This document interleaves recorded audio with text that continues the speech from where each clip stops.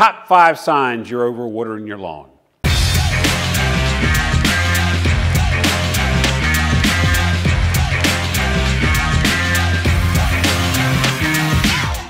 Hi, Bob Carr here with the Bob Carr Show, presented by TLC.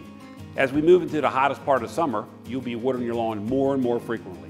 After all, the math is pretty simple.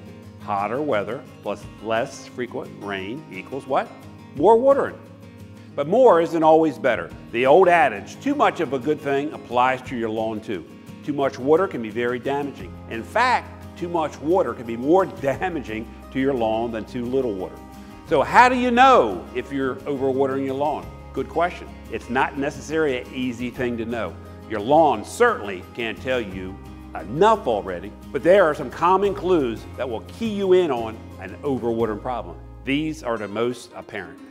Number one, weed speeds. Are weeds growing everywhere in your lawn with amazing speed? That could be a sure sign of overwatering. Certain weeds will absolutely thrive in a too wet environment. Nutsedge and crabgrass, for example. Number two, thatch patch.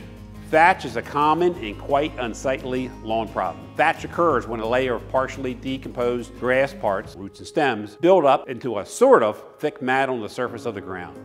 Frequent watering can discourage grass roots from growing deep into the soil. There's no need for roots to grow deep because they can find all the water they need near the surface. Number three, bug boom a boom in the population of harmful insects in your lawn is a problem that can result from the thatch. Thatch can provide a wonderfully sheltering habitat for insects, and many of these insects can wreak havoc upon your lawn and landscape. Number four, fungus among us. Types of fungus love a moist environment. So if you got mushrooms popping up in your yard, that's a solid indication that you're overwatering your lawn at least in those areas. In fact, there are many different types of fungus that will eagerly await an overwatered lawn. Rust is a prime example. Number five, water movement. Other common sense clues can clue you into the fact that your lawn is overwatered. A partially spongy feel to the surface as you walk across your lawn or runoff from your lawn during watering. So how do you fix the flooding? How do you stop it?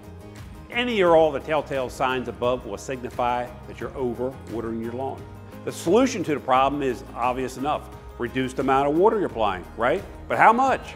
That's not so obvious. Striking the just right balance of water for your lawn can be rather difficult. It's a science. You have to juggle a number of variables, including the unknown of how much rainfall Mother Nature will be delivering in between. Overall, though, try to water deeply, a half inch to one inch, but less frequently, every one to three weeks. The frequency and quantity of watering, of course, will be determined by these conditions. But the best solution is a TLC HydroWise Smart Sprinkler System. Advantages that modern smart sprinkler technology offers can take the burden off your shoulders and probably do a more efficient job of determining when and how much you water. So when it comes to water, don't go overboard. Very easy to do.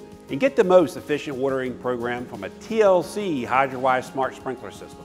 You'll never, never, ever have to worry about under or overwatering your beautiful lawn again. Drop a comment, give us a call, shoot us a message if you want to learn more about our irrigation services. And as always, thanks for watching the Bob Carr Show. Talk to you soon.